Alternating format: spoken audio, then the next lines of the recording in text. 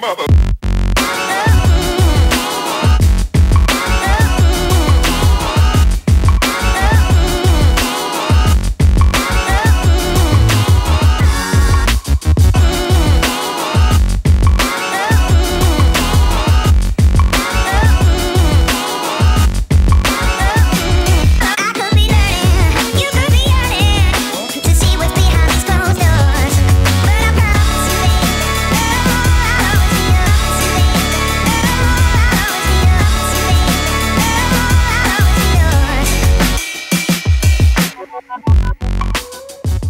Hello there, Monster Gardeners. My name's Dr. Watt, and welcome to the brand new season of Test Lab.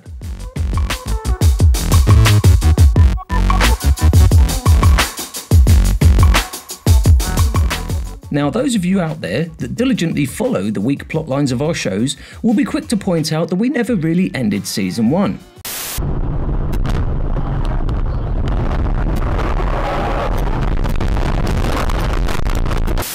And they'd be exactly right. However, that's the beginning of a very long story. Soon after episode 7 aired, we began shooting the next episode, our first big LED test. We'd been working on this for over 12 months, reaching out to as many LED manufacturers as we could to try and create the biggest LED cross test video ever. However, it soon became clear that there's an awful lot of paranoia out there amongst LED manufacturers when it comes to independent testing. You see, in the HID world, everything is pretty much set into a formula. You have reflectors, you have bulbs, you have ballasts, etc. But in the LED world, it's very far from that.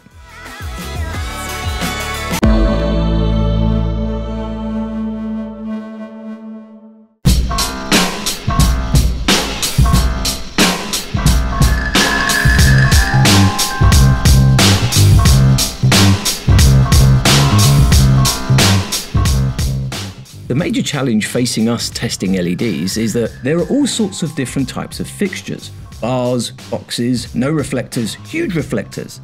An absolutely mad world of niche ideas and insane technologies. Testing one LED versus another, therefore, is very difficult because each has been designed around a specific design philosophy. And so, a standard test like ours, in our 5x5 tent, might, in the eyes of some manufacturers, be seen to be doing their design philosophy a disservice. And so, out of the 20 or so manufacturers we contacted, only two really showed up to play Illumitex and Spectrum King. Illumitex sent us a new commercial model called the Power Harvest, with the promise to send new versions of their popular NeoSol line when they were released. But sadly, my contact at the company left, so we sent the Power Harvest back without completing a full test on it. And we're only just now reconnecting with them, which leaves just Spectrum King. Spectrum King sent us four fixtures, with the only instructions being test ours like you test everyone else's. Other than that, test away. And so we devised a barrage of tests for different types of LED fixture and began the huge task of testing the Spectrum King range.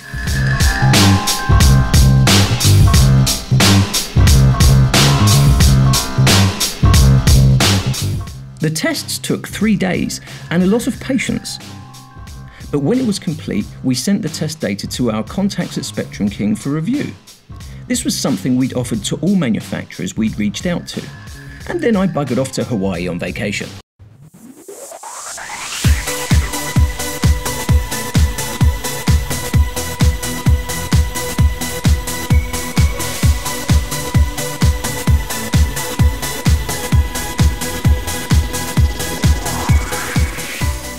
Now, the wonderful thing about being on holiday in Hawaii is that phones and tech don't work too well. Well, at least not where I was staying. Is where we're staying, and it looks like Magnum PI House or wherever it was number?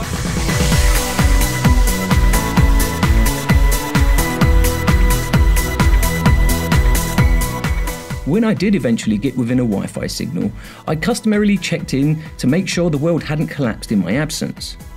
And that was when I picked up a string of increasingly desperate messages that were alarmed at the Spectrum King results. But not at the output data, they were alarmed at the electrical readings. The voltage and power readings I'd taken were off by as much as 2% according to their projected efficiency numbers and were throwing off their math. So, when I got back from vacation, we checked and double checked the test results, and after tracing the test lab main 240 volt line back to the box, we discovered a horror show.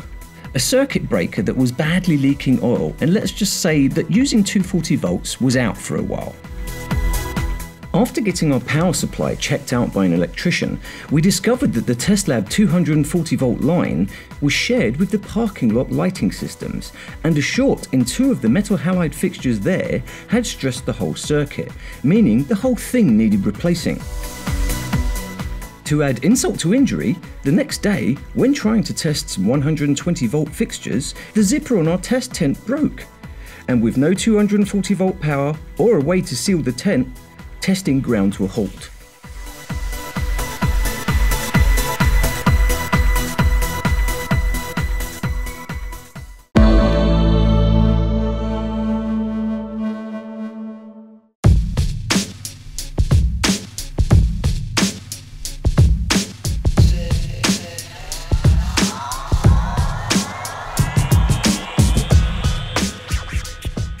After much discussion, a plot was hatched.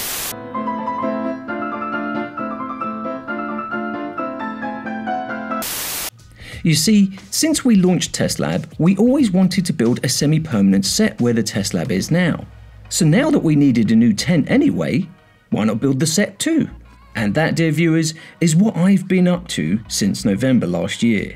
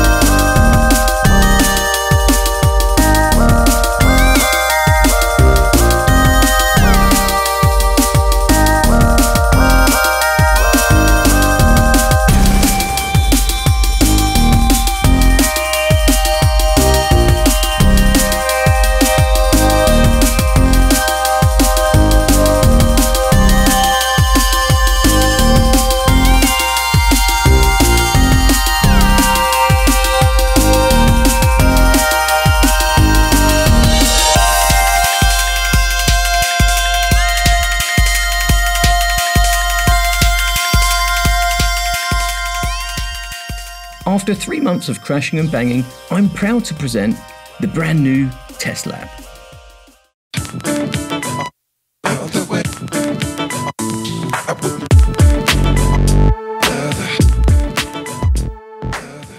Welcome to the Watt Cave, my new home from home, complete with custom signature furniture from the Dr. Watt furniture design line, made from only the finest available junk.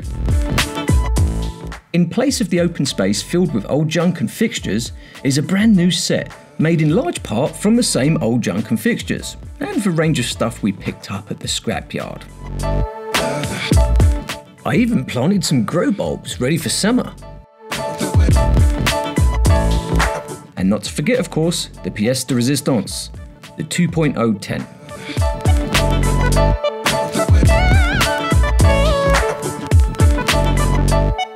The tent really took quite a long time to come together, as we wanted to solve the broken zipper issue by eliminating the need for one.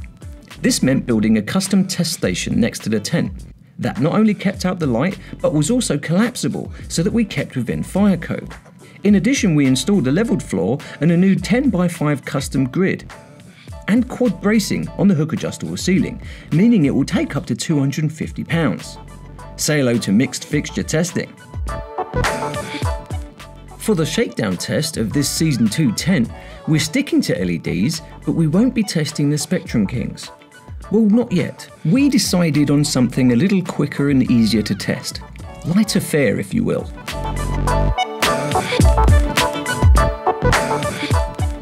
The Spectrum King test is waiting on the installation and test of our dedicated 240 volt circuit, and we'll also be subjecting them to a far more intense barrage of tests because we want to know as much about them as possible.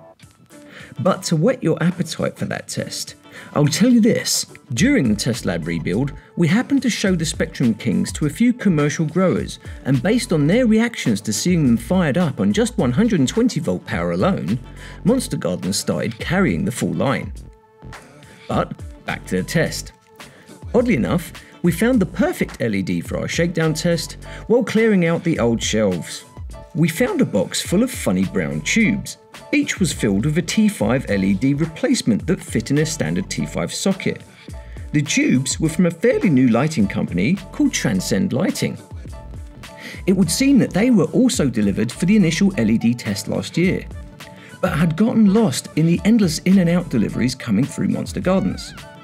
As I'd never tested T5s before and no one knew how they perform, we decided to take a closer look. After reaching out to Transcend to check it was okay to test the bulbs, they not only gave us the green light, they also offered to send us all of their other fixtures for testing. And that will be coming your way very soon. So, this first test will be this T5 replacement from Transcend Lighting versus all the top bulbs sold by the store. They are the Spectralux Red, the Spectralux Blue, the Power Veg from Hortilux, and because we blew all of our budget getting Test Lab and the new set ready, we'll be testing them in the cheapest available fixture, the Sunblaster T5 single 4 foot strip light, which actually comes with a bulb itself. So, hey, what the hell, we'll test that as well. As usual, we'll be recreating typical grow conditions, which means in this case, close proximity lighting.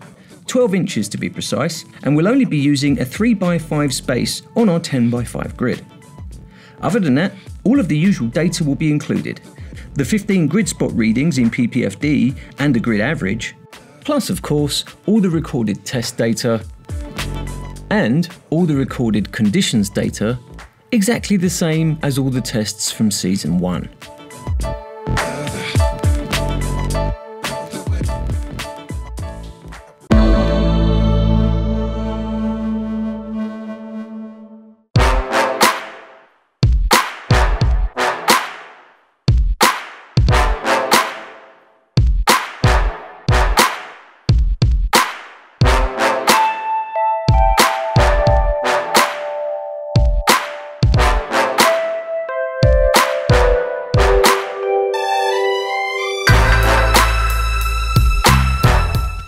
To the results, let's set some expectations, shall we? This is a T5 test of individual bulbs slash LED tubes, so nobody's going to get too sweaty about the intensity numbers. But as it turns out, that doesn't mean it doesn't yield some interesting data points. Let's start with the Sunblaster, which only seems fair seeing as we're using their fixture for this test. The numbers look decent, although I must admit I've never tested anything under 600 watts before, and the spectrum is certainly what you'd wish your DEHPS was kicking out. It's a 6400 Kelvin bulb too, which means it kind of looks like daylight on a cloudy day, but still with plenty of blue. Note to self, put together a Wintker episode on colour temperature. I'd say it's a pretty good showing by the home team. So who's next? That would be the Spectralux twins, blue and red. These two bulbs are what are considered bread and butter to all of the local growers that live near Monster Gardens. Right price, right power. Seems like a winning combination. But I've always wondered how much red and how much blue is in each. Well, not that much is the answer. Yes, there are blues in the blue and reds in the red, but for two bulbs that were separated by 3500 Kelvin, there's not a lot in it.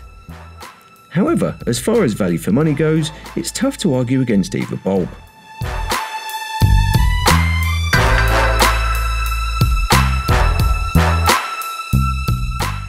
Moving on to the power veg, and that smooth sailing suddenly hits the rocks. We expected great things from this bulb due to the fact that so many people swear by them, so when I started jotting the numbers down during the test, which as you can see are pretty wimpy, we were stumped as to why they were so low and so retested a second bulb just to be on the safe side. It yielded almost identical numbers. Now I have to admit, this situation had me very puzzled. That was until I started reviewing some old footage and I came across a shot of the point of sale stand in the store. On the side of that was a picture of this spectrum. Ah, the penny suddenly dropped. It's the UV. If you compare the spectrum that I took to the one from Eye Hortilux themselves, you'll spot the error immediately, and it's these big readings here. You see, our spectrometer only reaches down to around 380 nanometers or so.